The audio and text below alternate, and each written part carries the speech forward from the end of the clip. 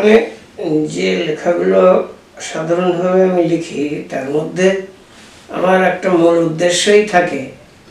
আমার লেখা যদি কোনো পাঠক কোনো সময় পড়েন তার মধ্যে যেন কিছু খোরাক পায় অর্থাৎ মানুষের কোনো ভাবনা, চিন্তা, সেগুলো তাকে, তার কানে পৌঁছে দেওয়ার জন্যেই আমার চেষ্টাটা থাকে।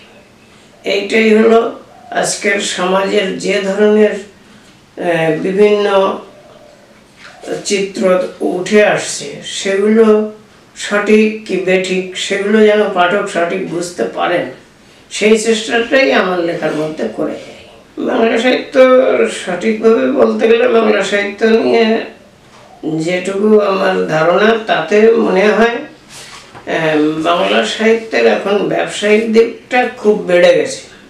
কিন্তু আসল যে আদে যারা সংস্কার যুগের লেখক, অর্থাৎ প্রথম আঠেরোশো সাতাত্তর খ্রিস্টাব্দে যে বাংলা প্রেস, অর্থাৎ আপনার ছাপাখানা আবিষ্কারের পরে যে ধরনের লেখার হিড়িক পড়েছিল, এটা বলা মুশকিল।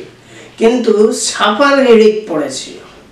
পুরানো যে পুঁথি থেকে আরম্ভ করে সব কিছু এগুলো যে এর পিছনে মূল কাহিনীটা ছিল আপনার আমাদের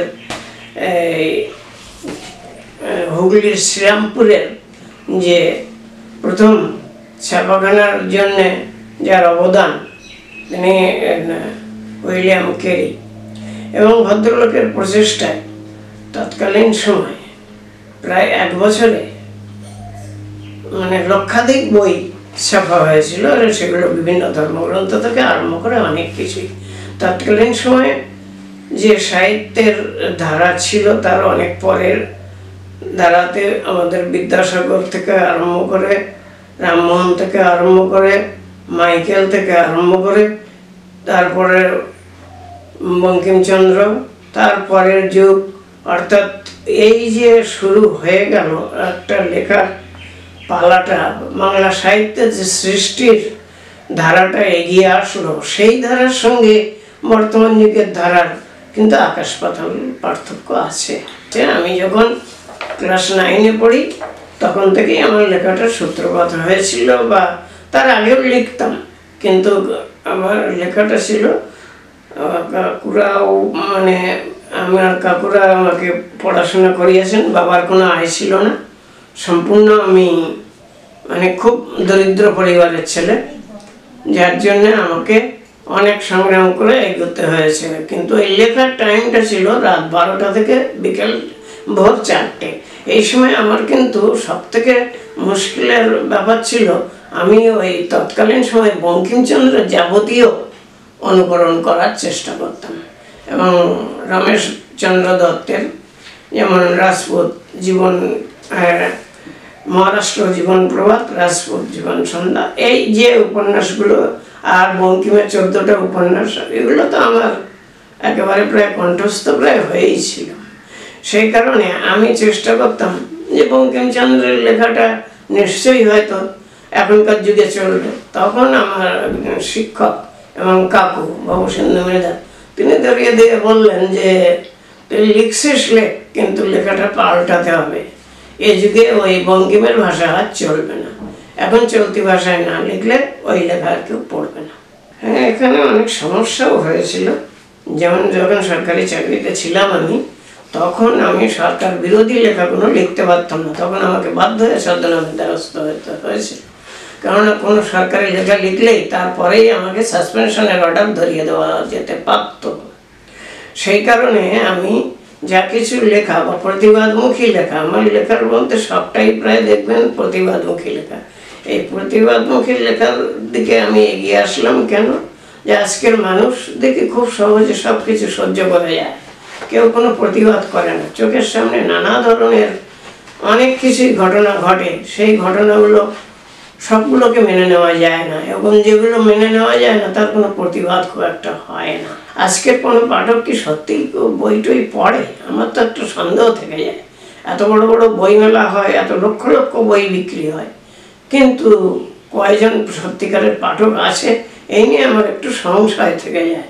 কেননা দেখি অধিকাংশ বইগুলোর আর কোনো তেমন কোনো সমালোচনা হতে দেখি না। যেমন সজনীকান্ত দাস বলে একজন ভদ্রলোক ছিলেন, যিনি রবীন্দ্রনাথ থেকে শুরু করে দ্বিজেন্দ্রলাল রায়, তারপরে তৎকালীন সময়ে আরও বড় বড় লেখক মানিক বন্দ্যোপাধ্যায়, শরদিন্দু বন্দ্যোপাধ্যায়, কিংবা ওই যুগের নামি দামি তাবড় তাবড় লেখকের ব্যাপক সমালোচনা করতেন, এমনকি দ্বিজেন্দ্রলাল রায় চোখের জল মুছতে মুছতে বলেছিলেন সজনী তোমার ওই সমালোচনা একটু বন্ধ করো। আমাকে যে নদীয়াতে আমি তিষ্ঠাতে পারছি না। তোমার এই সমালোচনা অত্যাচারে। এটাকে প্রথমেই বলি, যেহেতু রানী রাসমণি ছিলেন পুরো নিরক্ষর, এবং একজন নিরক্ষর মহিলা কীভাবে তার ভিতরে রাষ্ট্রীয় শাসন সত্তা ঢুকে গেল, সেটা জানার জন্যই কিন্তু তার শ্বশুরের আশ্রয় নিতে হয়েছিল। যে পৃথ্বীরাম দাস যদি না থাকতেন তাহলে রাসমণি কি সত্যিই আমাদের এখানে রাসমণিকে পাওয়া যেত? কেননা রাজকৃষ্ণ দাসের প্রথম দুই স্ত্রী মারা যাওয়ার পরে উনি তখন গঙ্গার তীরে নৌবহরে করে বেড়াতে গিয়ে ওই আপনার আজকের কোনা বলে জায়গাটা অনেকে হয়তো নাম ভুলে গেছে। সেটা হলো আপনার এই, হালি শহরে। হালি শহরের গঙ্গার ঘাটে ওই মেয়েটাকে উনি দেখেছিলেন। এবং ওনার খুবই পছন্দ হয়েছিল। মেয়েটা যখন স্নান করার পর উনি যখন বেরিয়ে যাচ্ছেন স্নান করে তখন ও বলল, মা, একটা কথা শুনলে তো বলল কি? তা বলছে, আমার খুব মনে হয়েছে, তোমাদের বাড়ি যাব।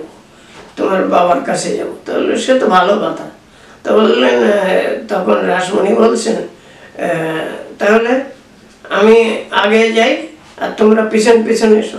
এই যে ওর কথাটা খুব মনে ধরেছিল। অর্থাৎ তারপরে গিয়ে ওর বাড়িতে হাজির হয় এবং ওনার সঙ্গে ওনার বাবার সঙ্গেও সব কিছু কথাবার্তা বলেন যে, এই মেয়েটা আমাদের ঘাট থেকে এই আপনার কাছে পৌঁছে দিয়েছে।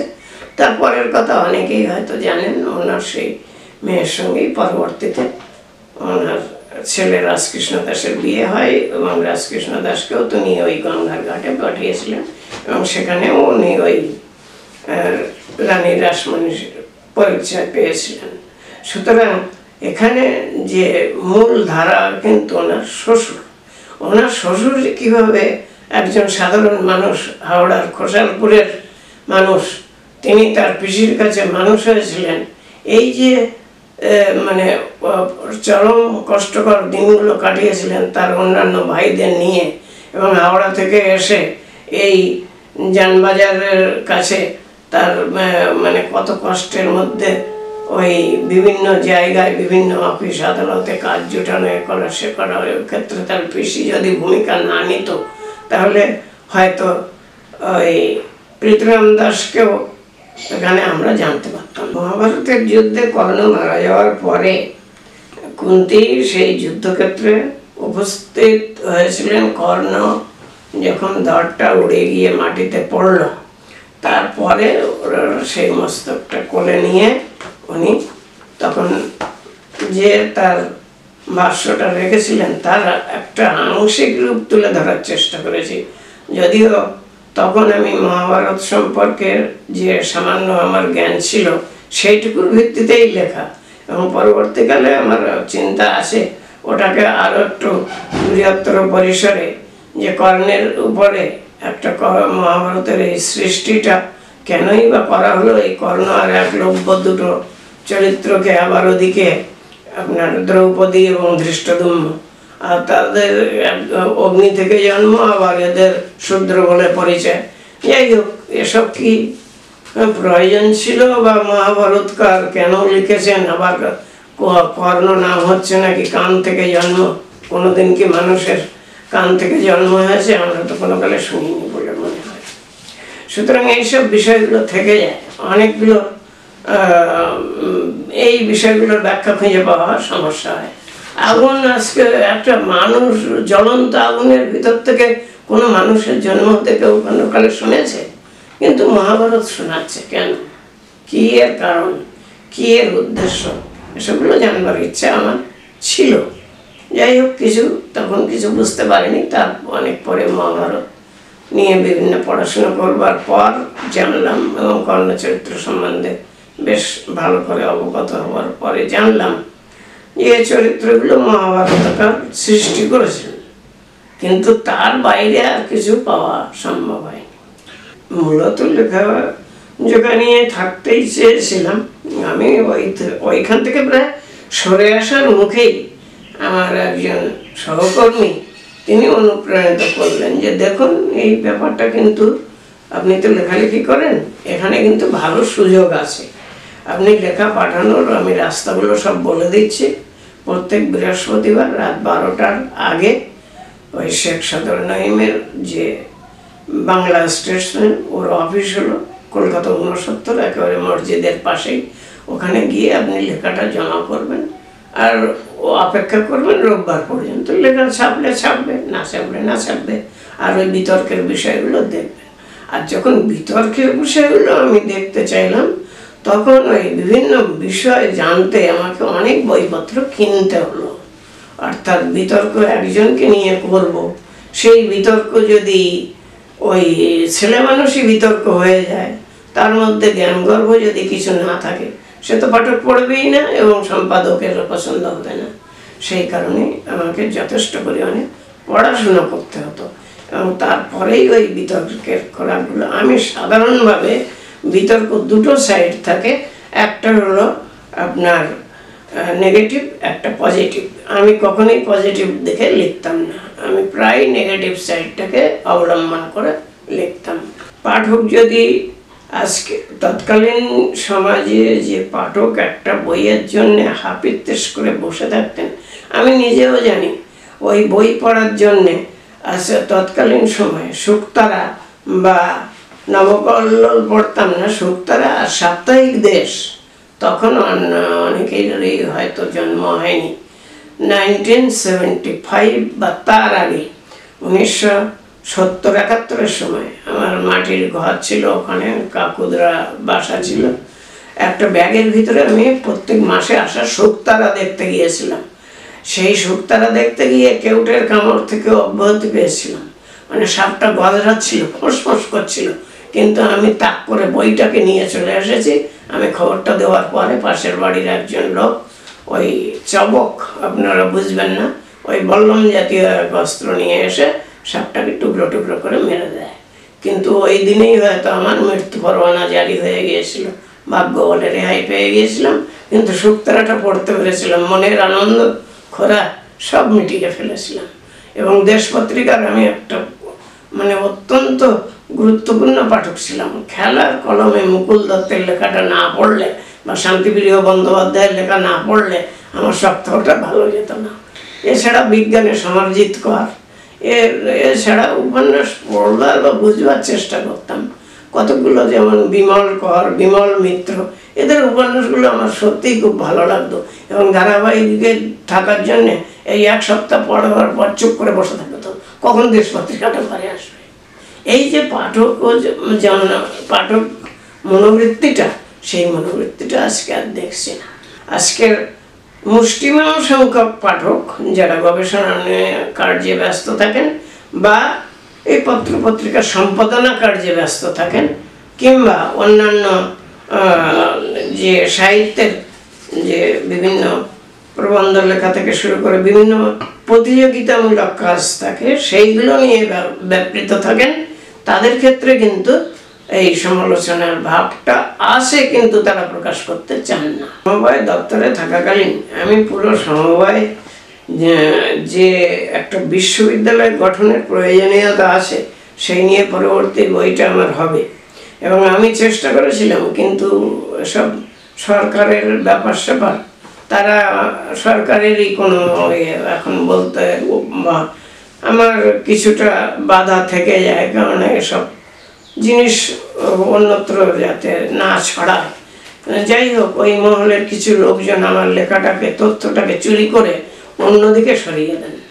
এবং সেই কারণে আমার পক্ষে সমবায় বিশ্ববিদ্যালয় গঠনের প্রস্তাবটা খারিজ হয়ে যায় আমার একত্রিশে জানুয়ারি দু হাজার একুশের রিটায়ারমেন্টের আগে পর্যন্ত। তারপরে আর কোনো দিন শুনিনি যে সমবায় বিশ্ববিদ্যালয়। কিন্তু বর্তমানকালে ওই সমবায় মন্ত্রী যিনি ছিলেন আপনার কেন্দ্রীয় সরকারের, তিনি নাকি সমবায় বিশ্ববিদ্যালয় নিয়ে অনেক উদ্যোগ গ্রহণ করেছেন এটা শুনতে পেয়েছি।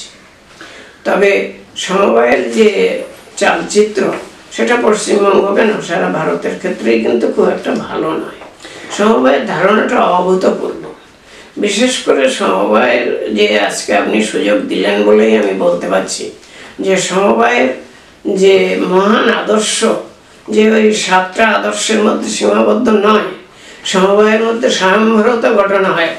মানুষের জীবন জীবিকা, রুজি রোজগার, মানুষের আলস্য সব কিছু কাটিয়ে উঠে মানুষ নিজে কীভাবে স্বয়ংবর হবে, সেই জিনিসটা আমি প্রত্যেকটা আমার ওই বই যেটা লিখেছি, সমবায় অর্থনীতি, ওর একটা সমবায় সমিতির উপবিধি বা বাইলা আমি বাংলাতেই বলি, উপবিধি নিয়ে তার প্রায় আঠাশটা উদ্দেশ্য আছে।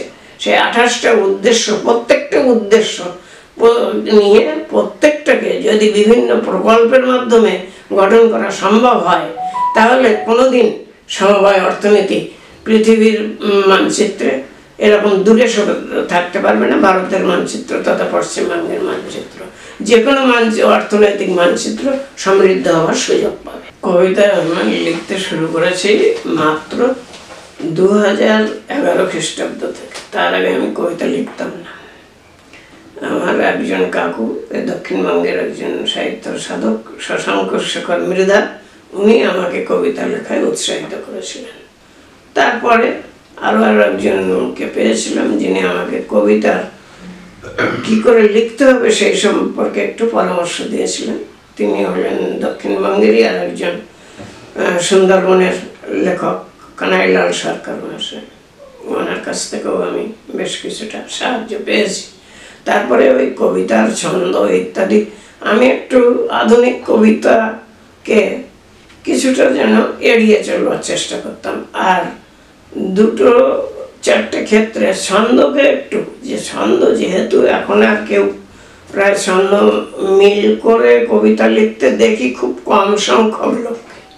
যদিও অনেকেই পুরনোপন্থী যারা আছেন তারা ছন্দকেই নির্ভর করেন। কিন্তু কবিতার এখন যেসব ভাব দেখি, মূল জিনিসটা হলো ভাবিতা। কবিতাটা যেন উড়ে গেছে, ভাবগুলোকে নিয়েই অধিকাংশ লোক ব্যস্ত। কল্পনার জগতে তাকে ভাসিয়ে দিয়ে কোথায় নিয়ে যাচ্ছে, তার কোনো ঠিক ঠিকানা নেই। কিন্তু আমি সেটা চাইনি। আমি কবিতাকে মাটিতে নামিয়ে এনে বাস্তবের সঙ্গে মেশানোর চেষ্টা করেছি। সেই জন্যেই আমার কবিতাগুলো এত কি আপনি যা বলছেন, হয়তো কিছুটা তাই, সবটা না। ছোটদের জন্য লিখতে গেলে নিজেকে ছোট হতে হবে, এইটাই হলো ব্যাপার। আমি যদি ছোট না হই, তাহলে ছোটদের কথা কি করে লিখব? আমি যখন এই এক বছরের শিশুকে নিয়ে লিখলাম, তখন আমি মনে মনে ভাবলাম, আমি মায়ের পেটের থেকেই বেরিয়েছি এখন মায়ের পেটের থেকে বেরোনোর পরে কি কি স্টেপ আছে, সেইগুলো ভেবে নিয়েই আমি লিখতে শুরু করি। আমি কাজে বিশ্বাসী। এগুলো তো অলংকার মাত্র, এগুলো দেখেও আমার কোনো লাভ নেই, কোনো বিরোধ আমার লেখাটা এর জন্য কিছুটা ব্যাহত হচ্ছে। আমি নিজের মতো করে লিখতে পারছি না, এইসব অনুষ্ঠানে যোগ দেওয়া, এ করা, সে করা, এ কারণে আমি মন খুলে প্রাণ খুলে লিখতে পারি না। আমার লেখার ক্ষেত্রে কিছু বেশ কিছুটা হ্যাম্পার হয়। আমি পুরস্কার প্রত্যাশী নই। আমার ব্যাপার হলো, আমি আমাকে লিখতে দেওয়া হোক। আমার যতটা, আমার একটা ভিতরে একটা আগ্রহ আছে যে আমি এত দূর পর্যন্ত এগোতে চাই। আমার সেই আগ্রহটাকে সবার সামনে আমি তুলে ধরতে চাই না। এই যেমন আগামী চোদ্দ তারিখে আছে সেখানে নলিনী সভাগীরে একটা অনুষ্ঠান আছে। ওখানে পাঁচটা সংকলনেই আমার লেখা আছে। সেখানে যেতে তো হবেই। আমি তো আর উপেক্ষা করতে পারব না। আমার স্বপ্ন অনেকটা গভীরে আছে। সেগুলো তো সবার সামনে মুখ খুলে বলাও সম্ভব না। কারণটা হলো, আমি চাই যে আমার লেখাগুলো সব পাঠকের কাছে পৌঁছে। এইটাই আমার আসল স্বপ্ন। কোনো পাঠক যদি আমার লেখা না পড়ল, তাহলে আমার স্বপ্নটা অভ্রান্ত। দেমাগ কিসের? দুদিনের জন্য মানব দেহ ধারণ করে কিসের এত দেমাগ? রূপ, সম্পদ, পাণ্ডিত্য, সর্বজ্ঞানী। পড়েই যাবে পৃথিবীতে বেবাক। আত্মীয় পরিজন সাথে যাবেই না, যেতেই হবে একাকেই। শেষ বসনটাও কেড়েই নেবে। যেমন আসা যাওয়া তেমনই দেশ গড়। এগিয়ে চলো। আওয়াজ তোলো। আলসেমি চলবে না। হিংসা চলবে না। মদ্যপান চলবে না। দেখানোপনা চলবে না। নোংরামো চলবে না। গুন্ডাবাজি চলবে না। খিস্তি খাবুর চলবে না। শোষণ করা চলবে না। দেশের দশের সেবা করবে। সবার মঙ্গল চিন্তা করবে। সবার মঙ্গল চিন্তা করবে। নতুন করে এদেশ করবে গাছেরা, আমরা গাছ, আমরা আনাজ, আমরা ফল, আমরা ফুল, আমরা কাঁটা, আমরা ঝাঁটা, আমরা লতা, আমাদের পাতা। মরলে অবুজ, শুকিয়ে যায় বাতাস দি টাকার লোভ, শুধুই টাকা চাই, আরও টাকা চাই। টাকায় টাকা আনে, টাকায় লোভ আনে, টাকায় সুখ হয়, টাকায় অসুখ হয়, টাকাই বড় নয়, টাকাই জীবন নয়। টাকার বাইরে কিছু আছে, মানুষের ভালো মন আছে, মরণে টাকা যাবে না সাথে, টাকার লোভ বৃথাই বটে। মানুষ ই, হার মানা, কথা শোনা, মান করা, গোসা করা এসবে নেই। জেদ করো, কাজ করো, শপথ করো, সেবা করো, প্রেম করো আছে সবই, মানুষ বটে। গরু, ঘাস খাই, জল খাই, পান্তা খাই, খড় খাই জাবর কাঠি। মাঠে খাটি আমি গরু, নহি সরু। আমি পুজো পাই, মানুষের সেবা পাই খুব আনন্দ পাই